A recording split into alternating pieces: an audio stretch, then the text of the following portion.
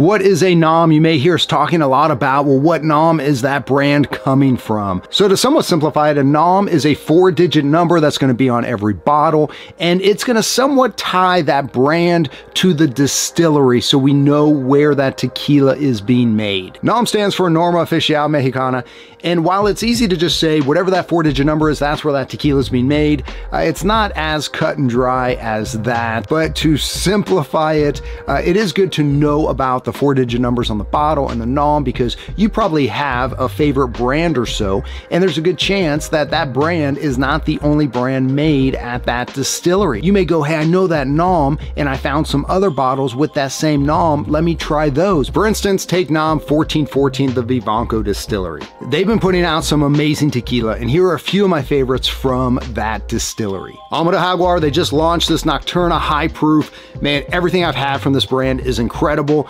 They've got an Añejo coming out soon, and they're doing a lot for conservation of jaguars. This is a must-have on your shelf. Viva Mexico, the foundation of this distillery. Yeyo, another brand doing some awesome things. Lost Lore, definitely one to keep an eye on and to pick up and try. And this is a newer one that I don't see as much, but equally delicious, Tequila Especial. So start looking at the NOM numbers so you can identify some of your favorite brands and distilleries. See ya.